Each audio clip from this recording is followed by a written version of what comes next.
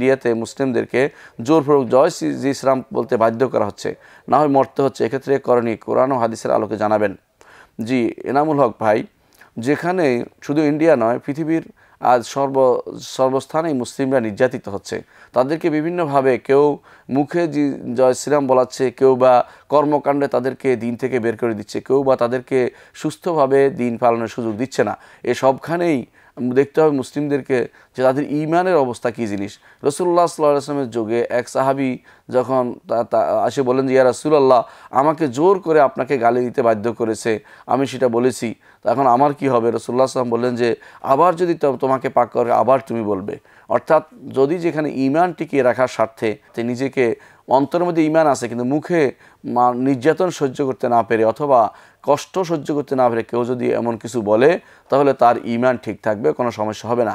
এই জন্য আমরা বলি, যারা এই জাতীয় জায়গাতে জোর করে ভারতে বা অন্যান্য জায়গাতে মুসলিমদেরকে জয় শ্রীরাম বলতে বাধ্য করা হচ্ছে, তারা যদি আদর্শবান কেউ না হন, অর্থাৎ যেমন বিখ্যাত কোনো ব্যক্তি যে ইসলামের জন্য প্রসিদ্ধ ব্যক্তি, যেমন ইমা আহমদ হাম্বল, তাকে জোর করা হয়েছে যেন বলে যে কোরআন মাখলুক কোরআন সৃষ্ট, এটা বলার জন্য তিনি বলেন নাই, অন্য সবাই বলেছে, তারপর তিনি বলেন নাই।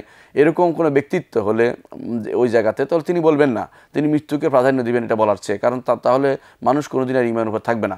এর বিপরীতে যারা সাধারণ মুসলিম আছেন, যারা ইমানে এত পাকাভক্ত নন, তারা যদি এটা বলে, কোনো কথা বলে, ইমা অন্তরে ইমান পরিপূর্ণ আছে এটা বলে যদি কোনো তিনি পার পেতে পারেন, তাহলে তিনি নিজের নিজেকে সংরক্ষণ করবেন, হেফাজত করবেন। কারণ আল্লাহ তালা আল্লাহ তালা কোরআনে কারিম বলেছেন, ইল্লা আমান উক্রিহা ওকালবহু মুতমা ইন্নুবিল ইমান তবে কাউকে জবর, জবরদস্তি করা হয় এবং তার অন্তর যদি ইমানে পরিপূর্ণ থাকে যে আল্লাহ তালা বলেছেন যে সেটা তার জন্য কোনো ক্ষতি হবে না। লাহবুল্লাহ জাহরাবিল কাউল জাহরা জাহরা বিসমিন কাউল ইল্লামান জলিমা। যেমন অন্য আয়ত আল্লাহ তালা বলেছেন, কেউ কুফুরি বা খারাপ কথা স্পষ্ট, স্বচ্ছ শুদ্ধ, বিশুদ্ধ, স্পষ্টভাবে উচ্চারণ করে বলবে, এটা আল্লাহ তালা কখনো পছন্দ করেন না। তবে ইল্লা মনজলিমা কারও জুলুম হলে যদি কোনো সে বাঁচতে না পারে, সে বলবে।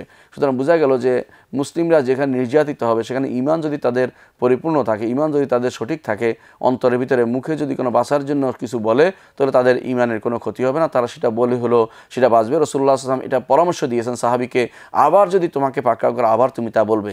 আজ যারা বিশ্বের আনাচে কানাচে মুসলিমরা বিভিন্নভাবে নির্যাতিত হচ্ছে তারা এই সমস্ত অবস্থায় তারা মুখে সেটা বললে তাদের ইনশাল্লাহ ইমানের কোনো ক্ষতি হবে না। প্রয়োজনে তারা সেটা যদি ইমান রক্ষা করা কঠিন হয়ে পড়ে, তারা সেটা বলে ইমানকে হেফাজত করবে।